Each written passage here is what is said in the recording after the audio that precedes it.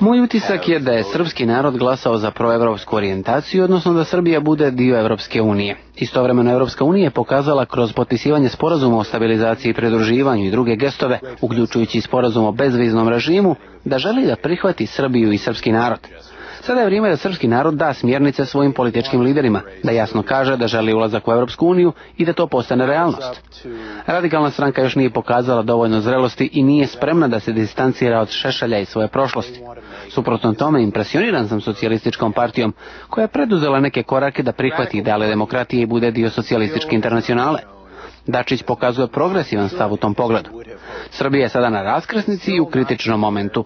Demokratska stranka i njoj naklonjene grupe pokazale su da imaju podršku srpskog naroda. One bi mogle da naprave ogroman napredak i donesu srpskom narodu veći prosperitet, veće investicije i nova radna mjesta. Ako se krene starim putem, sa Koštuničinom grupom, bojim se da bi to moglo da odbije investitore i Europu. Ja sam lično duboko razočaran premijerom Koštunicom i njegovim radom proteklih godina. Dosadašnji ekonomski uspjeh u Srbiji može se pripisati demokratskoj stranci ljudima iz G17. Što se tiče Kosova, Koštunica je imao izvanrednu, pa čak i istorijsku mogućnost da preduzme pozitivne akcije prema kosovskim Albancima i ako je želio da Kosovo ostane dio Srbije, mislim da je to mogao da učini i da pokaže kosovskim Albancima da je ono što se dogodilo u prošlosti bila greška i da poradi na unapriđenju odnosa. Umjesto toga na pregovorima on na njih nije ni gledao, nije htio da se rukuje s njima. Ponio se prema njima sa prezrenjem i uvredljivo. To je proizvelo tešku situaciju i smatram da je ishodu kosovskih pregovora značajno doprinio upravo Koštunica. Pod kakvim okolnostima bi mogli da se eventualno nastave pregovori o statusu Kosova? Kosovo is now a sovereign state. Kosovo je sada suverena država. Nova srpska vlada zna da mora živjeti s Kosovom i potreban je, bez obzira na sve, dijalog Beograda i Prištine. Nije do Rusije, Indije, Kine ili Brazila da diktiraju bilo kakve poteze. Nova srpska vlast i kosovska uprava trebalo bi da počnu da razgovaraju i od njih će zavisiti budući razvoj događaja.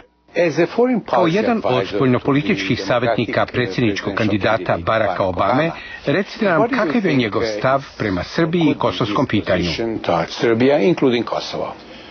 Well, Senator Obama made quite clear in the statement he issued Senator Obama je jasno iznio svoj stav u saopštenju izdatom nakon deklaracije o nezavisnosti Kosova, o Srbiji i o Kosovu. Obama je rekao da Kosovo, koje je sada nezavisno, ima izuzetnu odgovornost. Priština mora da pokaže da je ozbiljno u pogledu razvoja demokratskih institucija, jake, tržišno orijentisane ekonomije i da stvori atmosferu koja bi privukla strane investicije.